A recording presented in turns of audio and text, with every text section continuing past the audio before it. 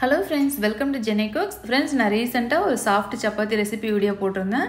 அதில் கொஞ்சம் பேர் டவுட் கேட்டிருந்தீங்க. ஒவ்வொருத்தருக்கும் எனக்கு தனித்தனியாக கமெண்ட்க்கு வந்து ரிப்ளை பண்ண முடியல. அதனால நான் ஒரு வீடியோவாகவே போட்டிருக்கேன். இன்றைக்கி வந்து வேறு ஒரு ரெசிபி வீடியோ நான் அப்லோட் பண்ணுறதா இருந்தது. சரி நிறைய டவுட் கேட்டுக்கிட்டே இருக்கும். ஒரு சின் சின்னதாக ஒரு வீடியோ எடுத்து போட்டுடலாமேன்னு போட்டிருக்கேன். கட்டாயம் இந்த வீடியோ பாருங்கள் சாஃப்ட் சப்பாத்தின்றது பார்த்திங்கன்னா ஒரு சாதாரண விஷயம்.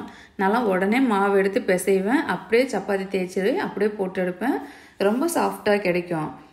நம்ம வந்து சப்பாத்தினாலே ஒரு பெரிய விஷயம் அப்படின்னு நம்ம நினச்சிட்டு இருக்கோம். இதில் சொல்கிற சின்ன சின்ன டிப்ஸ் வந்து ஃபாலோ பண்ணிங்கனாலே போதும். இப்போ ரீசெண்டாக போட்ட வீடியோவில் மாதிரியே நான் கோதுமை மாவு எடுத்து பிசைஞ்சு உடனே இந்த மாதிரி நான் தேய்ச்சி வச்சுருக்கேன். இது வந்து கோதுமை மாவு தான். இது மைதா மாவு கிடையாது. ஒருத்தங்க கேட்டிருந்தாங்க மைதா மாவில் சப்பாத்தி சுட மாட்டாங்க. நல்லா தேய்ச்சதுக்கப்புறமா ரெண்டு தோசைகள் வந்து அடுப்பில் வச்சு ஏற்கனவே சூடு பண்ணியிருக்கேன். இது இரும்பு தோசைகள். வாங்கி ஒரு எட்டு வருஷம் ஆகுது. தோசைகள் அடுப்பில் வச்சதுக்கப்புறமா ஹை ஃப்ளேமில் வச்சு நல்லா சூடு பண்ணிக்கோங்க. நல்லா சூடானோடனே அதாவது ரொம்ப புகைச்சல் வர மாதிரி சூடு பண்ணக்கூடாது. நமக்கு ஓரளவுக்கு தெரியும் சூடானாலே.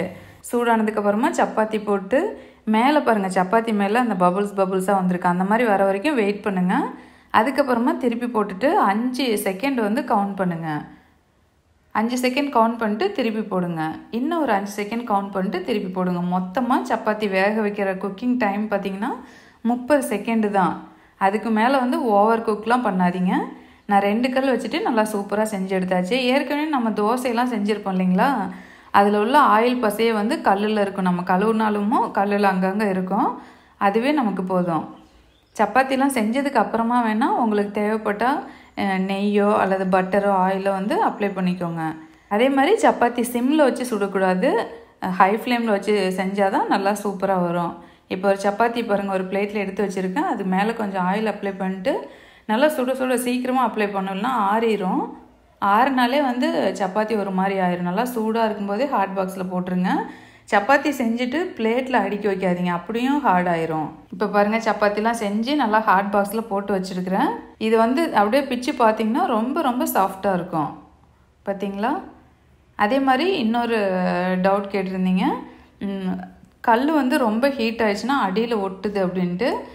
கல் ரொம்ப ஹீட் ஆனதுக்கப்புறம் சிம்மில் வச்சுக்கோங்க அடுப்பை. சிம்மில் வச்சுட்டு கொஞ்சம் தண்ணி தொளிச்சு விட்டுக்கோங்க. தோசை ஊற்றும் போது எப்படி பண்ணுவோம்? அதே மாதிரி தான் ஒரு வெங்காயத்தோட அடிப்பாகத்தை வச்சு நல்லா தேய்ச்சிட்டு திரும்ப ஹை ஃப்ளேமில் வச்சு சுட ஆரம்பிச்சுக்கோங்க.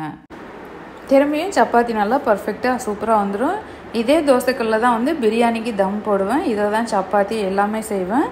இது வந்து இரும்புக்கல். நான் எதுவுமே பண்ணுறதில்ல நான் சமைச்சு முடிச்சதுக்கப்புறமா லைட்டாக ஒரு தண்ணியில் அலசிட்டு ஒரு காட்டன் துணி வச்சு தொடச்சி வச்சுருவேன். அவ்வளோதான்